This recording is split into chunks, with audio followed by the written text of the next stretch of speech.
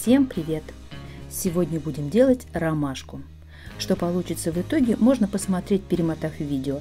А сейчас берем бутылку и отрезаем основание 6-8 сантиметров и волнистую верхнюю часть. Две части основания готовы. Теперь вставим одну в другую и зафиксируем скотчем. Основа для цветка готова. Ручку от горла отрезаем. Ромашку будем делать в основном из светлой бумаги. Мой тон 17А1. От рулона бумаги отмеряем и отрезаем 50 сантиметров. Полученное полотно делим на 40 и 10 сантиметров.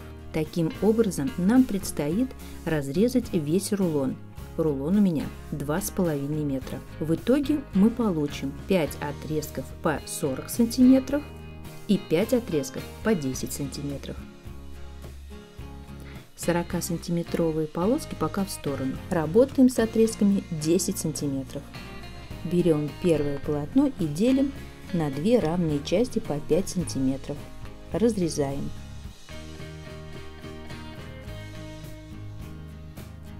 Так поступаем со всеми 10-сантиметровыми отрезками. В итоге на столе окажется 10 лент по 5 сантиметров. Берем одну из нарезанных ленточек, сложим ее для удобства нарезки.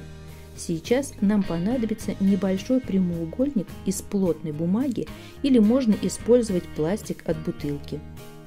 Накладываем его на свернутую гофробумагу и начинаем нарезать мелкую бахрому. Оставляем непрорезанным 1 см. Нарезанные ленточки бахромы не должны превышать желательно 3 мм.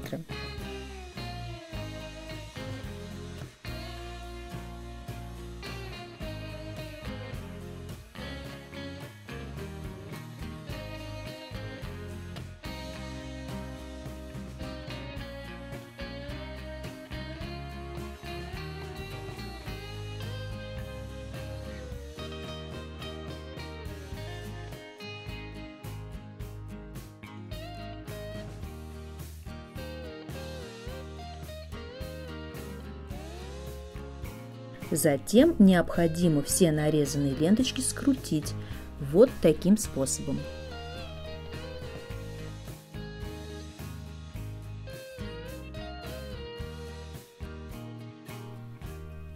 Этот процесс повторяем со всеми нарезанными лентами. Первая кучка лент превращена в бахрому. Серединка цветка обычно желтая, значит время желтой бумаги. Отмеряем 50 сантиметров, отрезаем. Полученное полотно разрежем сначала на 5 10-сантиметровых отрезков, а затем их разрежем пополам и получим 10 лент по 5 сантиметров. Надеюсь, вы уже догадались.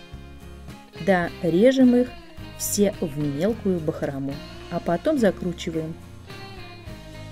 Кучка желтых полосок готова.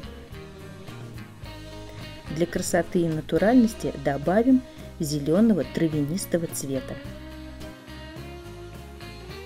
Отмеряем 50 сантиметров и отрезаем. И я думаю, вы догадались. Повторяем все заново. Сначала отрезки по 10 сантиметров, затем их пополам по 5 сантиметров и нарезаем в бахрому. Устали? Отдохните. Посмотрите, какие у меня классные мышата и гном.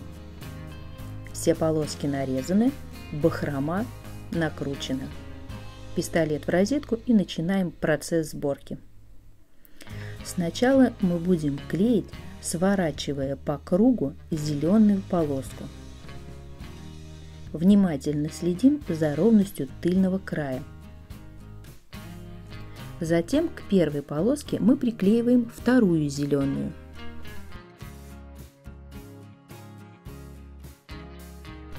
А затем и третью зеленую полоску.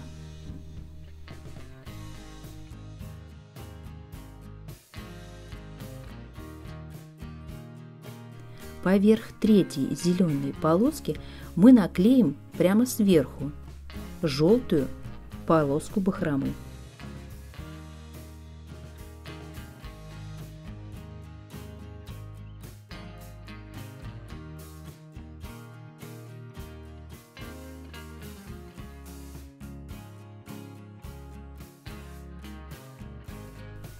Сейчас вернемся к зеленым. Подклеиваем еще одну зеленую, а оставшиеся две зеленые в сторону. На все зеленые полоски сверху клеим желтые. Теперь закрутим эту длинную ленту. Продолжаем следить за ровностью тыльной стороны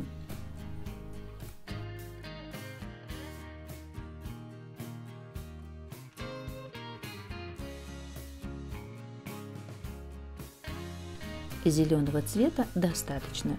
Дальше клеим все желтые полоски. Для удобства склеим желтые ленты между собой и затем продолжим закручивать, формируя середину цветка. Вот такая середина у меня получилась, но для моей формы она маловата, и я решила подрезать желтых лент.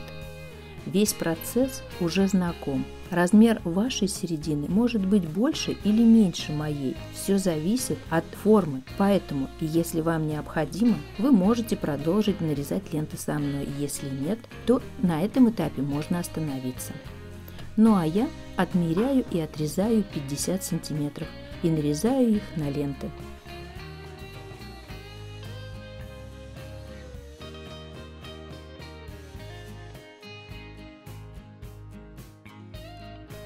Ленты готовы. Продолжаю их наклеивать и слежу за ровной тыльной стороной.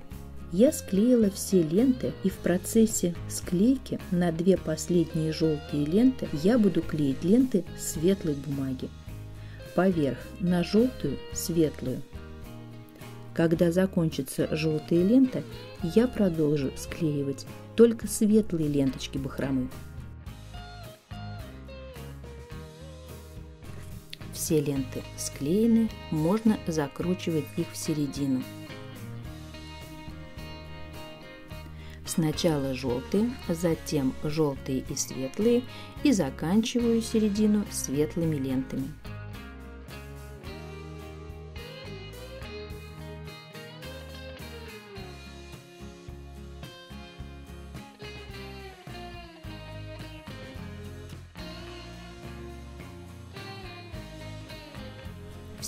Ленточки закончились.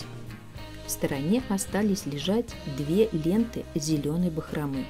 Они придадут законченный вид нашей середине.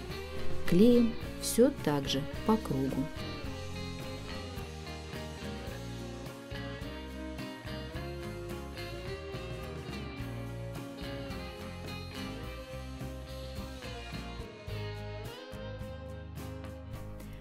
Середина готова.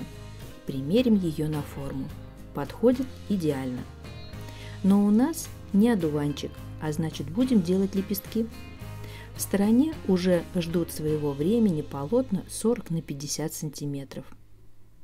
Берем первое полотно, сложим его пополам и на три части. Разрезаем с обеих сторон до конца.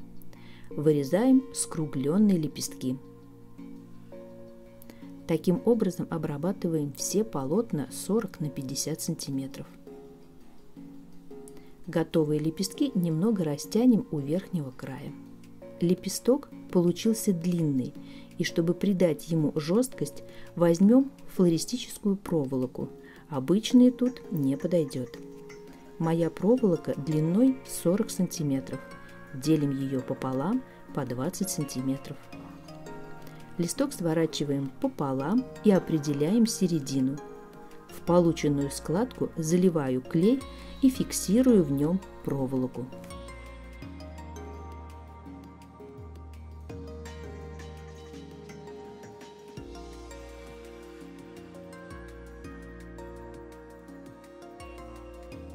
Дадим остыть и, загнув полученную складку в одну из сторон, расправляем лепесток – у основания немного присборим и зафиксируем складки степлером. Лепесток готов. Так нам предстоит сделать 20 лепестков. Остальные лепестки только немного присборим и зафиксируем сборку степлером. На форму сначала будем фиксировать лепестки с проволокой внутри. Клеим, отступив от края формы 2-2,5 см. Для удобства распределения лепестков клеим сначала с одной стороны формы, затем с противоположной. После этого равномерно распределяем все лепестки по форме. Лепестки клеим внахлёст. В процессе наклеивания лепестков их нужно подержать подольше, дав им остыть.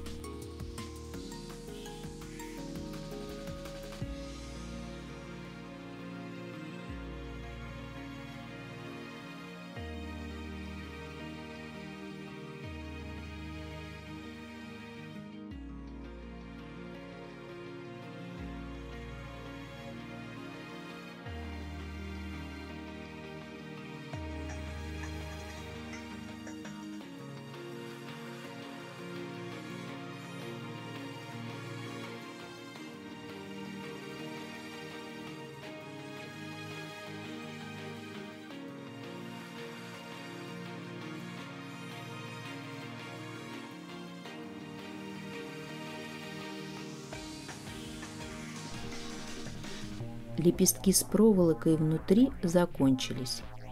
Подготовим следующую партию. Начнем клеить лепестки без проволоки. Клеим их, стараясь попадать между лепестков первого ряда. Клеим внахлёст по кругу. Если вам покажется, что лепестков недостаточно, можно клеить и третий ряд лепестков –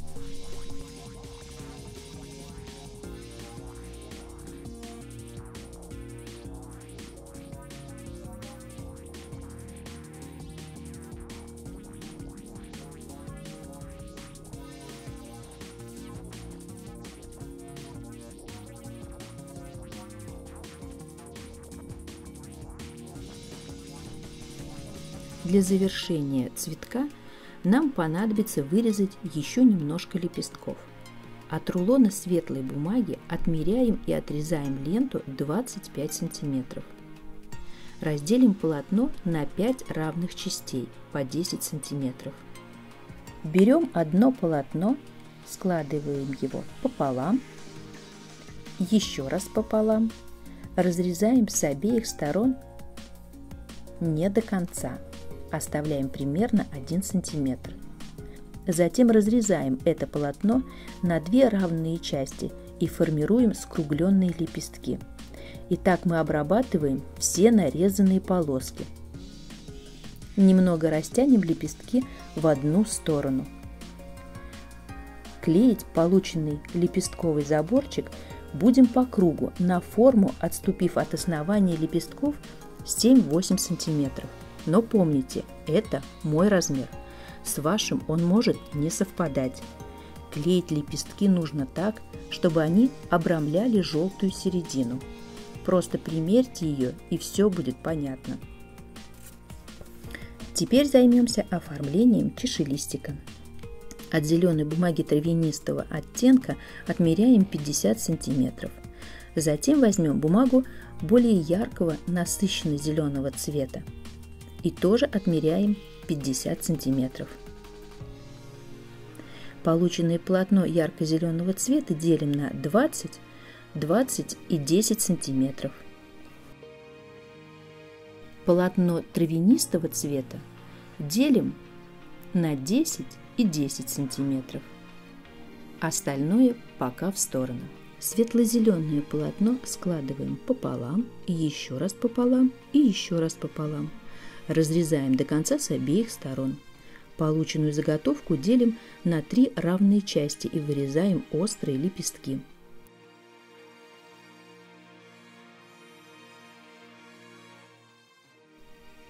Лепестки немного растянем. Берем полотно более яркого зеленого цвета. Складываем его пополам, еще раз пополам и на три части. Полученную заготовку 4 на 20 сантиметров прорезаем до конца с обеих сторон. Вырезаем острые лепестки. Берем наш цветок и начинаем по кругу клеить лепестки травянистого цвета. Клеим на форму с заходом на цветок.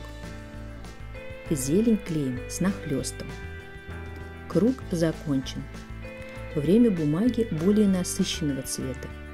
Лепестки клеим и на форму, и на лепестки предыдущего ряда, внахлёст по кругу.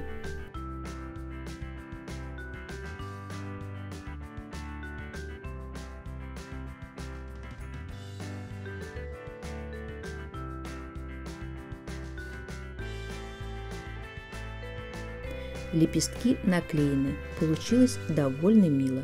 Осталось сформировать стебель и цветок будет готов.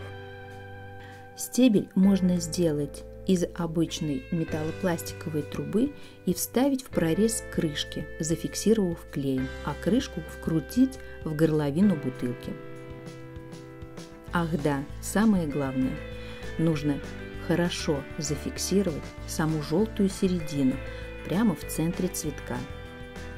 Получилась довольно милая, только очень большая ромашка. Сегодня один юморист спросил меня, чем же я поливаю цветы, что они такие большие. Шутник. А у меня на этом все. Хорошего вам всем лета. И, пожалуйста, не переставайте удивляться сами, радуйте и удивляйте близких. Всем удачи. Пока-пока.